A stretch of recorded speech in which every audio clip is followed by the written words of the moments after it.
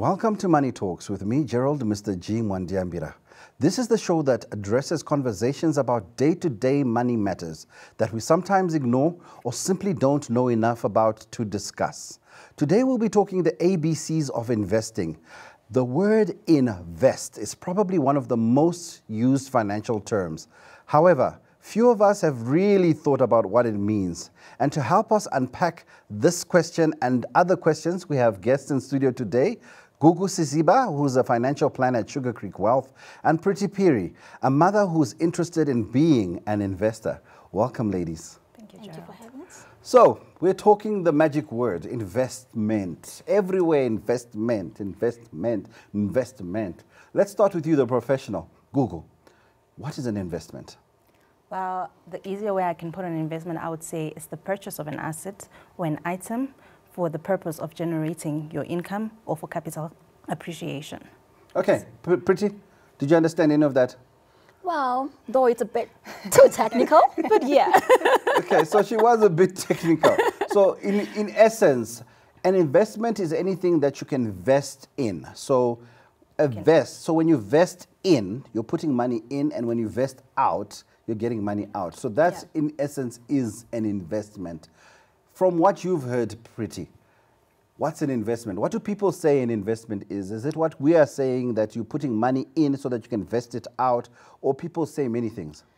Uh, I think um, it's not really what I should say. You know, what we have have have taken investment to be is not really what it is. Mm -hmm. You know, um, there's a lot of this get rich quick money schemes that are happening around, and we think it's investments. Okay. That's what we think. Okay, so right, and we put our money in there.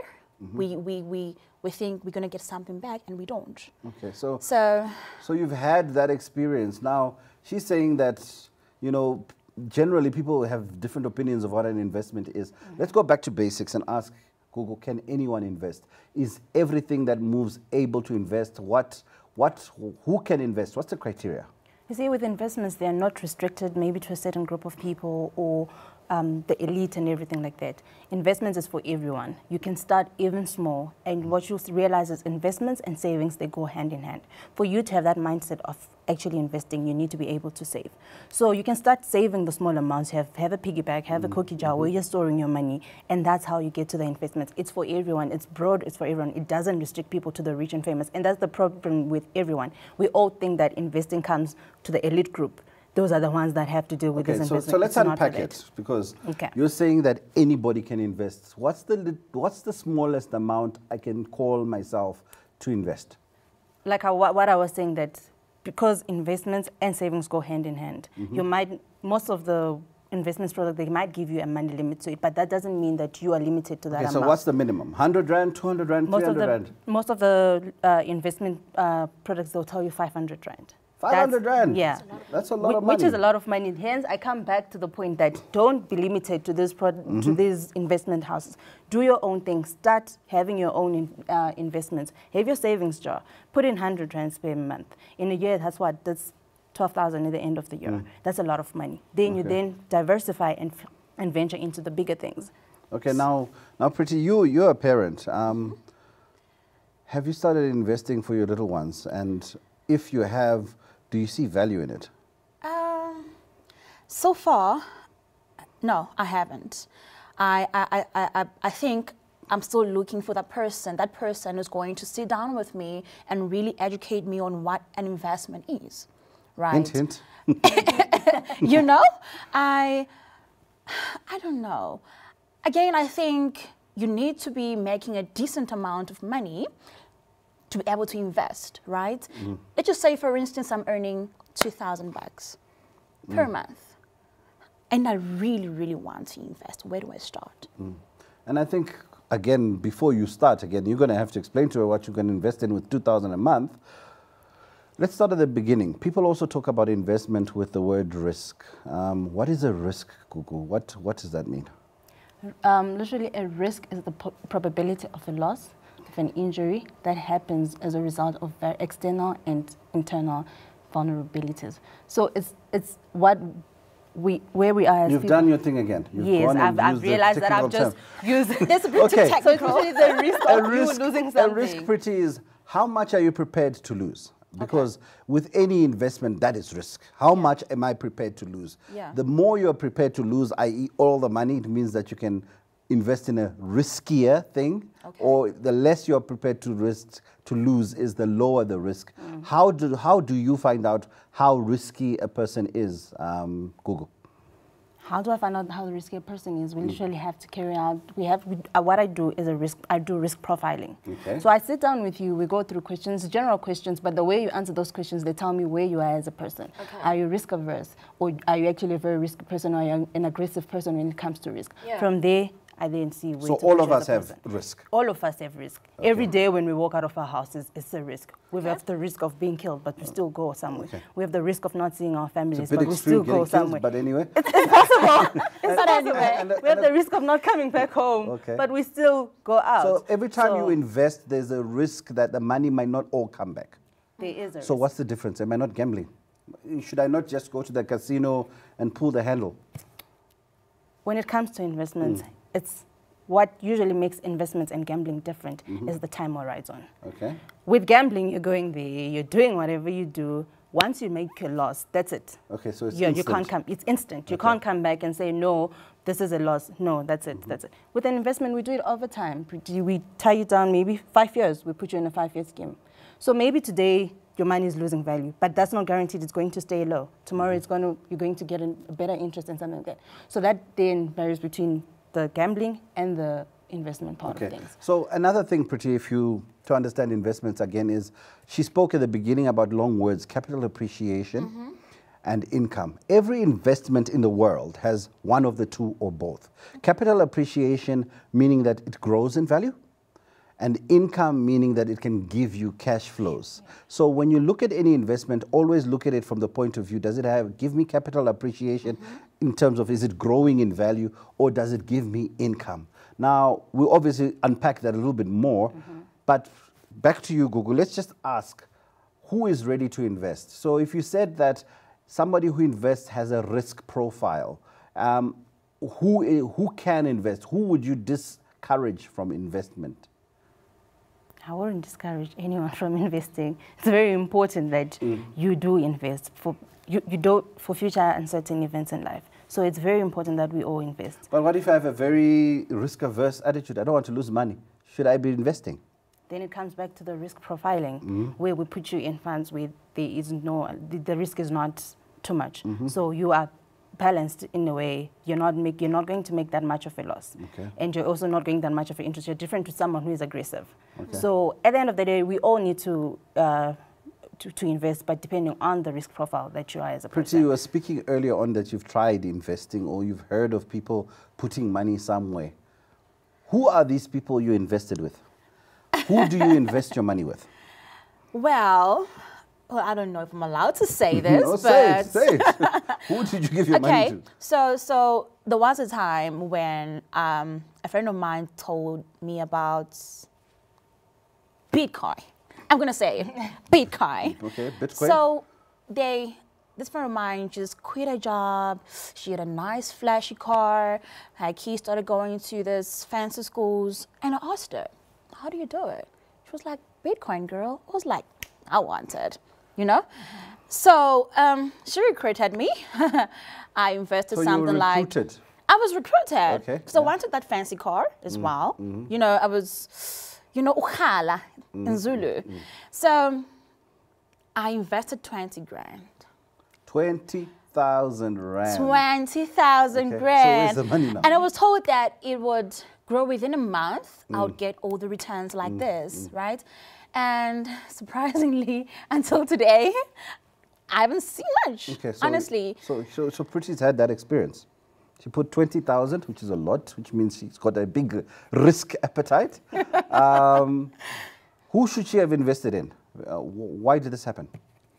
Um, probably because pretty you didn't have enough knowledge about what Bitcoin is So, actually. you so see. who, sh- who's, who, is, who is qualified to take people's money? Who is qualified to take people's money? Let me actually not classify it because investment come in different forms, Mr. Okay. G.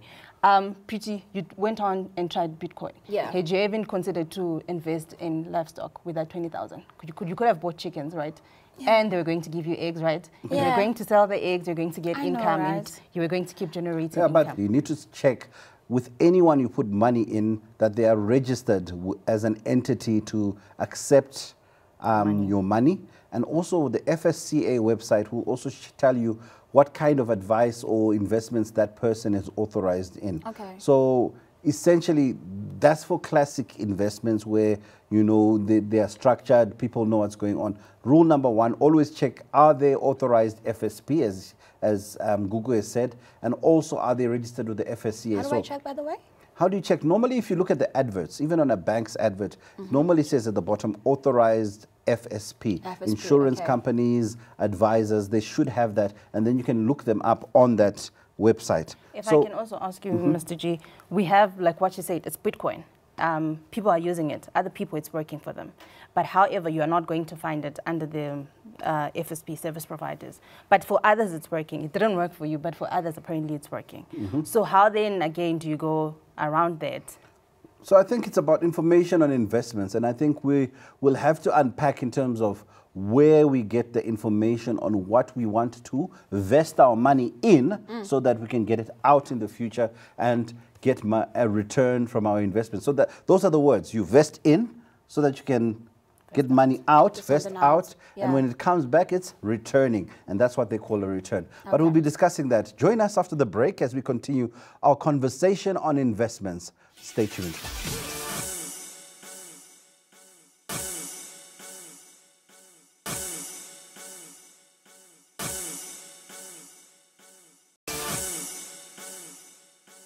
Welcome back to Money Talks with me, Gerald, Mr. G. Mwandiambira.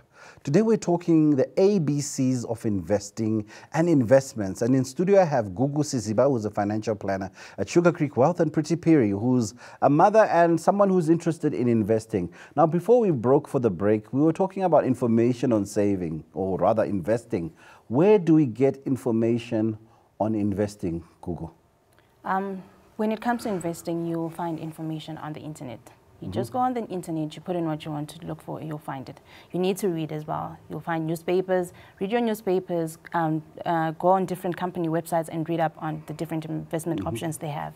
You can also, TV and radio, media, they also have these are advertisements on um, investments. So that's literally where you can find all the information you Okay, but but this is like information in general. If I really wanted to maybe go for education, where would I? Who can teach me about investing? Because I think there's a lot of information, and if I don't really understand how to do work with it, is there a way of getting educated on investments? Are there people who do it?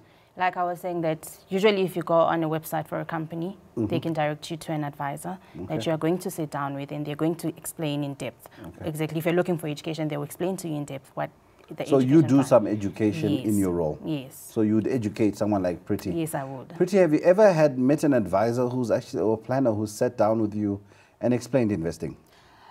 Not really, no. Mm. Because I've always seen it as something that's like, you know, beyond my reach. I feel like it's expensive. I don't know if maybe there is an, a fee But how can it. it be expensive, Pretty? You spent 20,000 on Bitcoin, which never came back. I know, right? It's just uh, at times. So how much you are you willing to spend for education on investing? How much is a real amount?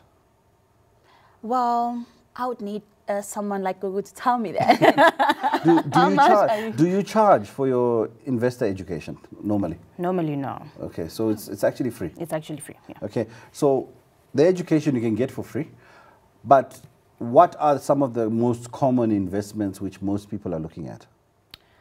Um, you will realize that most people are looking at unit trusts, Mm-hmm. right? And others are also looking at shares. What's a unit trust? A unit trust is an investment in a collectible investment in a collective investment scheme, right? Okay, so so you a- literally purchase a unit, and in that unit, it holds a certain amount of shares of an asset from the collective investment. So that's a unit. So who is trust. the collective? the collective? Now depends. It's a product house. Okay, so what's a product house? No, we need to unpack it because we're on Money Talks here and we want to keep, it simple. We also need to know. What's a product house? as the different FSPs, remember we mentioned FSPs earlier on, Uh-huh. financial services pro- providers. Mm-hmm. So they are the different product houses. Okay. Yes. So definitely, so they are the ones who sell these units. Yes. And who else buys units? So is it me on my own or am I with other people? You can buy a unit from there. Pretty can buy a unit. I can buy a unit. Mm-hmm. Okay. We can. Everyone can do it. So that's Yes. the collective. Yes, that's okay, so that's a unit part of it. trust. Yes. What other common type of investment do we hear about a lot? You spoke about a share. What is a share? A share is literally a purchase of a share Mm-hmm. in a company. So you're buying ownership of a, uh, of that company What? that is So I trading can on the stock. own the company? You can own a company. So which companies can I own and where would I find out where to get these shares? What you need to do, you know, you go on the stock market exchange, Okay. right? So there are public traded companies on the stock market exchange. Okay. They all have the prices, what, how much a share is, and you Okay. go and purchase a share. So it's different companies. You find all the most of the big companies, Okay. they're actually trading on the stock exchange. Okay, Yes. so so you can buy a share. Have you heard about this, Pretty? Um, Do you I know think anyone who yes. owns a share? I think yes, because the time uh, that I was recruited into Bitcoin, I was told that I'm buying a share. Okay. There is pool one, pool two, and pool three. So apparently it's a share. So in my mind, I'm thinking, oh yeah, so I'm owning a share somewhere in Bitcoin, Okay. one of the shareholders. So I think all of this goes back to uh, being uh, uh, educated about these things, knowing really what you're getting yourself into uh, before, you know, opening your wallet and And handing over the money. Yeah. Okay. Rule num- another rule perhaps which we should unpack is that should you be recruited to buy? Do people get recruited to buy anything? No, that Okay. should be a red flag. Okay. okay. So that's a red flag Yeah. because when you are normally recruited into anything, it, it talks network pyramids mm. and mm. Mm. Ponzi's. yeah. You- investing is something you do of your free will, and when you want your money back, you get it back freely. So we've spoken about classic investments. Classic investments being they're on a stock exchange mm-hmm. or it's, it's a product house, or sometimes you're dealing with a bank or an insurance company. Are there any other things you can put money in, invest out, and make a capital appreciation and income, Gugu? Yes, that's where I think earlier on I mentioned Mm. something about chickens, alternative investments. Right. Mm-hmm. So this is investing, but it's not the traditional way we're used to the going to purchase shares, bonds, and Mm-hmm. eh, all, all those things. It's another way of investing that's going to generate income, which is not so traditional to what we're used to. Mm-hmm. So Yes. give me an example like what? livestock investments. So a livestock investment, uh, capital appreciation, it? Let's take for instance, you buy yourself cows, Mm-hmm. right? Capital appreciation is going to be you selling that cow to other people, Okay. right? Income generation, that cow is going to give you milk. Okay. What are you going to do? You're going to sell the milk to different shops and you're going to get income. Okay, right? wow. So, so, So- all livestock can do that. Yes, and we don't have to stick to this traditional way of buying bonds Mm. and everything like that. Let's do something that we are used to. We grew up with our grandparents having livestock. We can actually go and try that. We don't have to stick to what we are told that this is. um, For me, I stay in, in, in, in, in a flat and the one to do livestock. What do I do? I really want to buy cows. I like it's a good idea. Like yeah. What then do I do? I'm not saying buy a cow and bring it to your flat and keep it and keep it in your flat whilst you wait for it to Yeah, but- no. Uh, usually, like what I'm saying, we as a financial advisor, I probably know where we can start this Mm. um, investment for you. There are people who are already in that business. Yeah. So you come to me, we get you linked to that person. Okay. You do. You buy your cows, you buy your Okay. cattle. Everything is done there at the Mm. farms, not in All your right. flat. Uh, okay. So don't worry about Okay. that. We're not Okay. bringing So to what. Gugu is saying is that if you speak to a financial advisor, most advisors are able to think beyond the traditional investments. Is that what you're saying? Yes, Okay. So you spoke of one alternative investment, livestock. What's another alternative investment you can maybe look at? We can also look at property. I put property, but property is not really um, alternative because it's already part of it. Mm-hmm. But it's also a way of you can invest. You can buy property for the sake of renting it out. Mm-hmm. And what are you going to do? You're going to get income from Can the I rentals. do um, a big room? you can do back rooms Okay. in your in your Mm. compound. You can build back rooms. People are going to rent them out. What are you going to do? Okay. You're going to get income. If you decide to sell that property, it's capital appreciation. Okay. Right. That's Makes something sense. that we can do. And another So, thing. so property is good in that it's income and capital appreciation. And capital. So you get two types. So that the traditional property through a bank or through a unit trust, Okay. and then the alternative investing type of properties where you build the back, back rooms you're talking about, Okay. or you buy a property for renovation and you sell it. Another alternative investment, Gugu. Another alternative one, I would think Krugerrands. Right. Mm-hmm. Krugerrand? Yeah. What's that? Krugerrands. Okay. It's like the gold coins that they usually sell. So you can buy that. And those ones usually perform even in bad uh, economic conditions. So you can get your Krugerrands, you can keep them, right? Where do I buy those? I've never heard of them. Okay. Oh, is it? So a Krugerrand has value. Yes, it does. Okay, how do A I know it's a real value. Krugerrand? Because I think the I'm best already concerned because You can make your own at home. if you buy from me, it might be fake, but go to the bank, you probably get Okay. original, genuine ones, so right? coins have Yeah. value It's and certain coin. Types it's- of coins. Yeah, not every it's coin. not every coin. It's not So- that five rand coin. So what- okay, not that by five rand coin. I was about to go there. Now, so you're the financial planner. You're the expert. Now, in terms of investing, let's go through some numbers. Um, I think I'd I'd given you a few examples to say, look, if I invested this amount of money, how much would I have in a certain period? So that because the one thing which is hard for a lot of people is to visualize how much return mm. they can get mm. by putting in so that they can invest out. yeah, that's true. 100 Rand invested for 10 years. How much can I possibly get? If we look at 100 rands invested for 10 years, and I'm going to assume that it's going to be compound interest Mm-hmm. of 10% every mm-hmm. month, you're likely to get 20,000 after 10 years. 10 years, Yeah. 20,000 from 100 Rand a month. Yeah. Not bad. Aish, it's not enough. 500 Rand. 500 rand, still the same scenario, 10 years uh, interest at 10%, Mm-hmm. you are likely going to get 103,000. 103,000. I am getting warm, getting warm.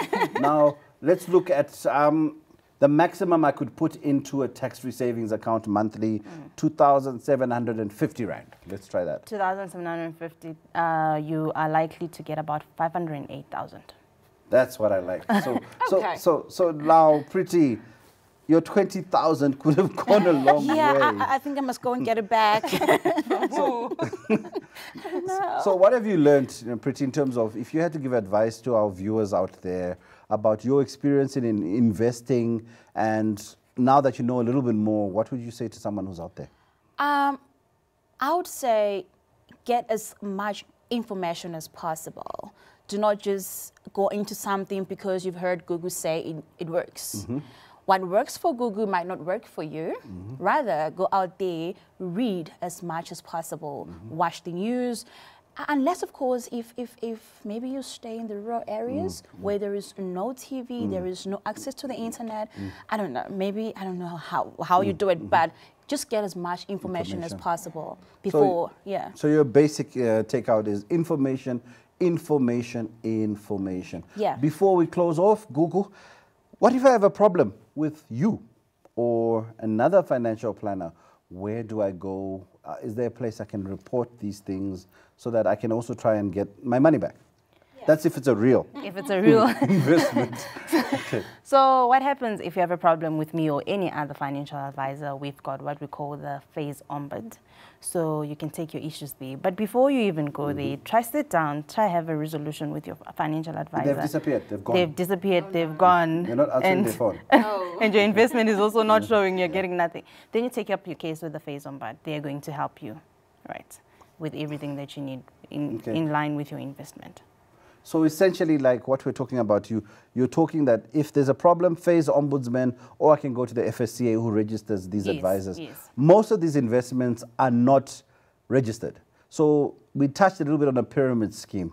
What are the quick pointers in terms of spotting a pyramid scheme so that at least our viewers can also know how to know the things to look out for?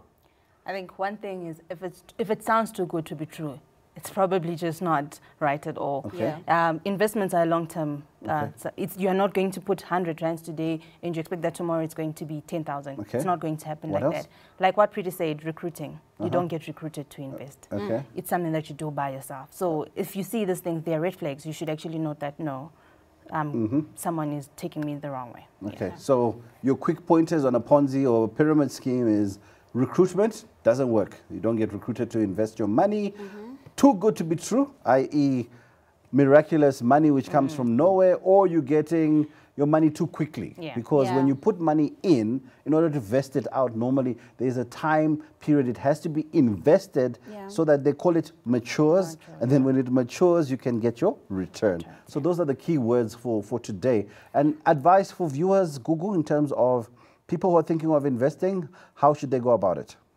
Um, like what Pretty said, find out as much information as possible.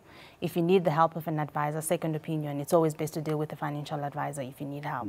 Don't leave it up to yourself and everything. You need someone who's qualified to help you. So let's find out more information before we take our money to some person who might just mm. disappear with it. Let's use the help of financial advisors who are actually accredited to do the work.